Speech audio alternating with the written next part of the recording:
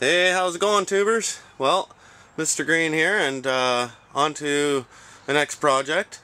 And uh, as you all know, I'm an avid gardener, and I do a lot of uh, gardening on my uh, my channel here, and I'll show you some of my uh, my gardens. This is uh, my big garden here. It hasn't been rototilled yet. The snow just melted, and then we have another garden out there in the center of our property. So. Um, Today's project is to take one of these yellow sheds, I have two of them, and turn it into a greenhouse. Um, I am going to write the company that makes these sheds and see if they can produce a plastic one that just fits over this and exactly like like the, the outside does right now. So we'll see what they say and uh, I'd be impressed if they did because I'm sure a lot. I'm not the only person that's thought to uh, use one of these as a greenhouse because you only need a greenhouse for a couple of months. I'm going to put some um, some six plus poly on it, and uh, I'll show you the tracking system that I'm going to use. It's off an old greenhouse, and then um, and then come uh, June when I no longer need the greenhouse, this yellow stuff will go back on, and I'll have my storage again. So it's just a dual purpose and it just makes sense. So I'll show you the, this is the poly I'm using. So I just went and got 16 feet by 10 feet wide and it's six or six plus it's called. So it's thick, but it's not too thick. Like, I mean, it's not, it's not UV protected. It's not going to last a long time. That's why, you know, if this company could make it, you know, say for, you know, 60, 70 bucks to buy the plastic, and it be UV protected would be uh, would be a great thing. So now I'll show you the tracking system. These are the channels that uh, I'll be putting the channels over the hoops, and then these ones uh, go along the bottom here. And then there's a wire that feeds back and forth that locks this in. And uh, I'll kind of show you when I get to that point. So I'm going to do a, uh, a, bit of a time lapse. I'll get this camera set up here and uh, we'll do a bit of a time lapse of uh, me putting this together. So we'll talk to everybody soon.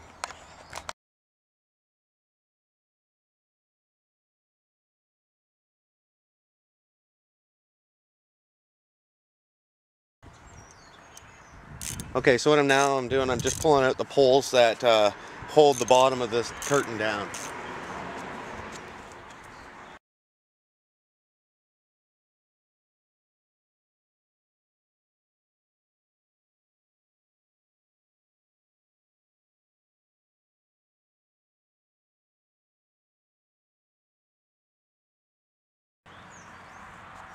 Okay, so now I'm going to reinstall those bars to give it strength again. And then uh, we'll start putting the, the side pieces on and start wrapping it.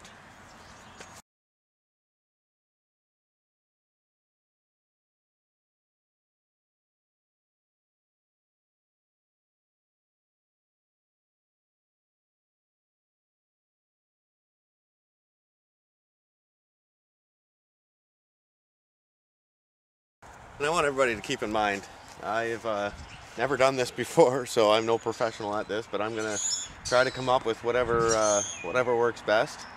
And if I can do it for cheap, the, the plastic cost me about $14 for the plastic for it. So I, uh, and these tracks were free from, uh, from our old greenhouse. We had a greenhouse company when I was a kid. So those are left over, so all of it was pretty much salvageable. And the shed I paid uh, $88 on sale for it. So, um, you know, a greenhouse for $100, that's pretty good. So I'm going to do the other side and then uh, we'll continue on from there.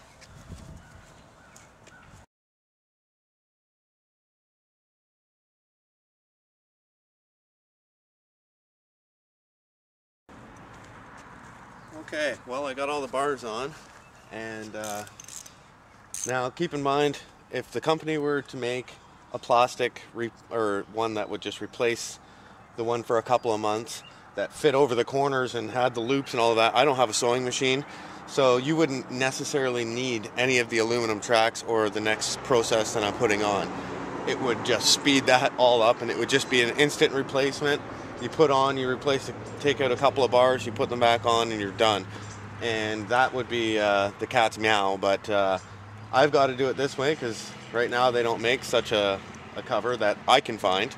Um, so here we go. So next thing is, is I've got to put the bottom tracks on and I've got uh, two by six.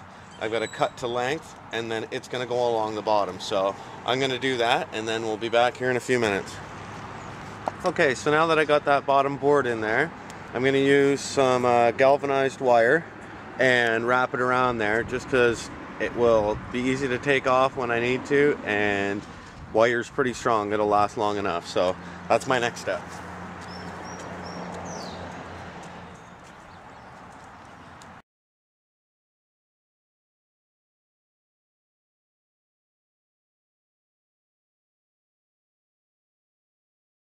Okay, so now I got that on there nice and tight.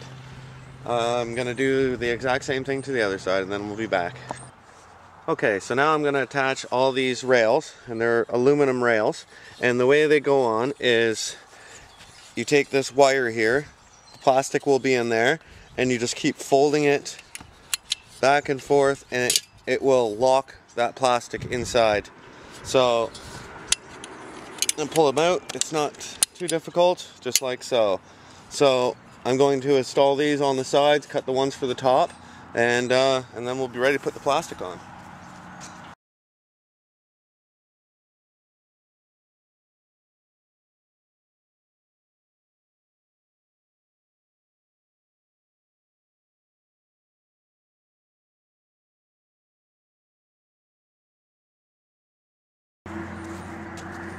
Okay, well, there's the two front ones. I'm gonna do the two back and do the two top and then we'll be back. Okay, so I'm just working my way around the edges. I just threw the plastic up over top. Whoops, sorry. Uh, threw it up over top and now I'm taking the, this and pulling it right along that seam and then locking that channel in. So I'll show you how that's done.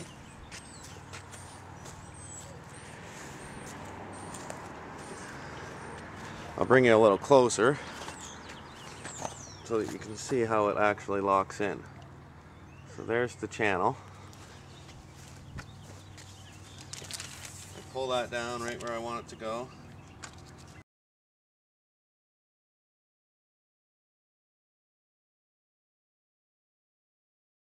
Then I will continue. I'm going to put you back a little bit further and then we're going to pull this out and uh, stretch it out. So.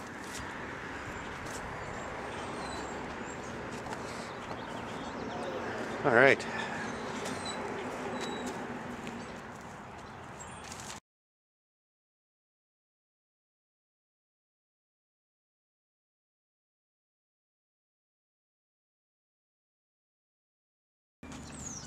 Okay guys, well once I got this up here I'll take a look or I'll, and we'll show you inside and we'll get some temperature readings from inside. Okay guys, well here's what it looks like from the outside. Turned out really well. I'm happy with it. The plastic's pretty tight on it. And uh, I'm already hitting for sure over 30 degrees. I don't have a thermometer out here, but it's over 30 degrees in here now. And uh, there's my tomato plants. And oh, yeah, it's really hot in here. Uh, I've got some more that'll be coming out here shortly. And there's a rose plant.